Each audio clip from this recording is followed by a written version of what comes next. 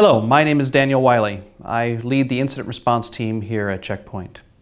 This is the first in a series of discussions around the state of the internet uh, from our team's point of view.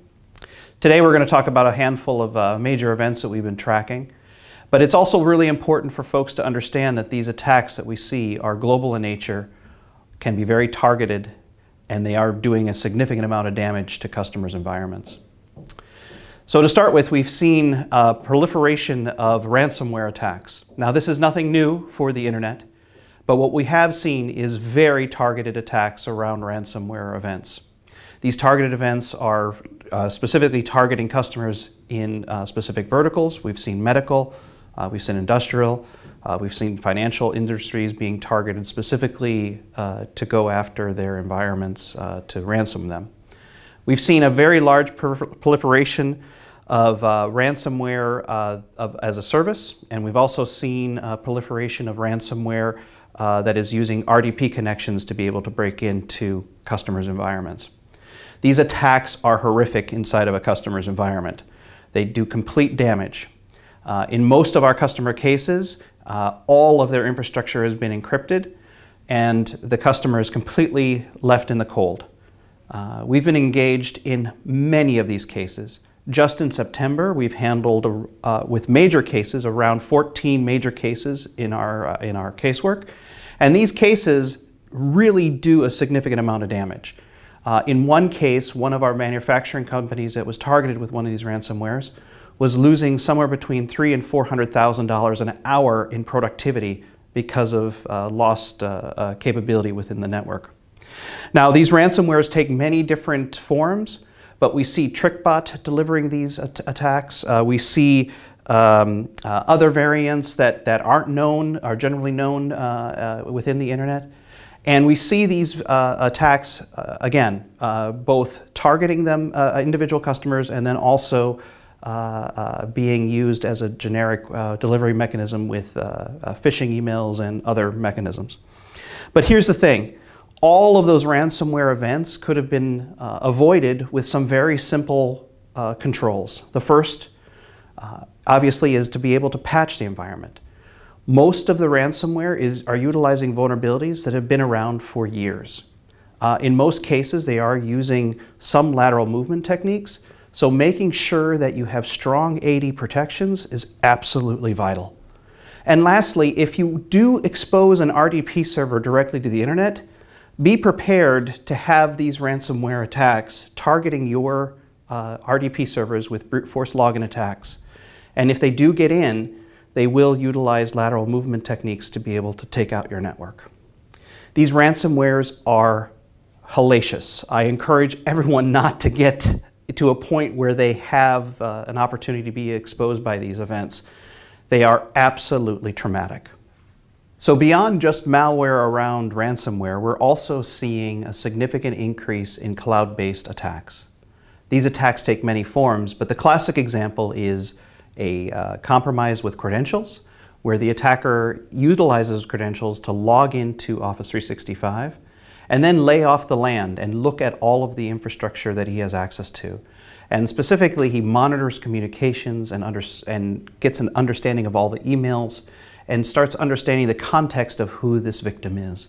What we see the attackers doing then is utilizing all that information to create additional chaos within the environment. And these attacks could be many different, uh, it can take many different forms. Uh, for example, we've seen customers that have, been in the, have had their communications intercepted uh, to such a degree where they've, the attacker has been able to manipulate the conversation to steal money. Uh, in one case, we saw a customer lose $6 million uh, with a very simple email scam where the attacker was able to identify the communication and the, the, the email thread where there was bank routing information being exchanged. And exactly the right moment, the attacker then inserted a new message with a new bank routing information and utilized that to have the victim transfer all the money into a new bank account. This happens a lot. We've had many cases over the last few months specifically around Office 365 compromises and bank fraud. We then also see the attacker do additional fraud within the environment. Uh, this could be things like uh, phishing scams or, or other extortion kind of uh, events. Uh, and then to make even matters even worse, uh, if the attacker finds no good information around a credentials or accounts that he's compromised, he utilizes the account to actually send outward uh, additional phishing kind of scams to victims.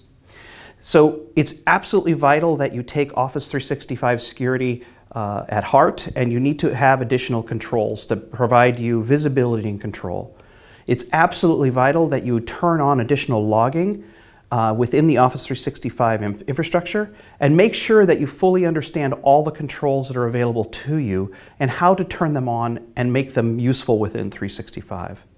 But then additionally, it's also important to take a look at a CASB type solution. These solutions provide you additional security capabilities that the traditional uh, Office 365 security controls can't. And those controls and that visibility provides you an extra layer of protection on, above and beyond uh, the Office 365 controls. Now, with all of these types of attacks uh, around cloud infrastructure, everything I've said is also uh, applicable uh, to Salesforce and other cloud infrastructures. We've started to see a small trend toward other cloud providers and SaaS providers. So ensure that you take all of these lessons and apply them to other areas of your network.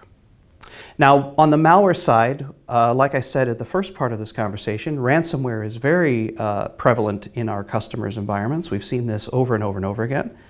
But we've also seen a very large increase in banking Trojans, specifically Emotet. We've seen at least seven cases in the last month, specifically around Emotet.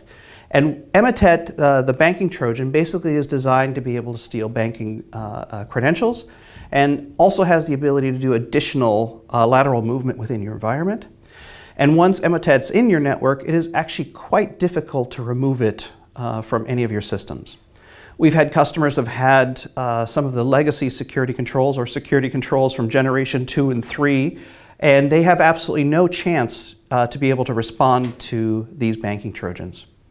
Now, once we get engaged with some of these events, what we're finding is that we actually have to rebuild the entire security landscape within a customer's environment. Emotet is one of those examples of this. Uh, we've had multiple cases where we've had to replace the entire security infrastructure, including the firewall, the endpoint, and all the other security controls to be able to actually just even have a chance to fight against these more advanced malware sets. Now, what's interesting about the trends that we see inside of the incident response team, a lot of them mirror some of the uh, uh, statistics and the analysis that our ThreatCloud researchers are finding. But what's even more important here is that these examples of the events that I've described is nothing new. These are the same events that we've been dealing with for the last six months. So as part of the series around uh, uh, providing you an incident response weather report on all of the events that we're seeing and the general trends that we're seeing, keep in mind that what we're finding is that at least for the first half of 2018, we're fighting the same battles over and over and over again. And it's absolutely critical that you evolve your security controls to have a fighting chance. This is the one lesson that I am imparting on everyone that's watching.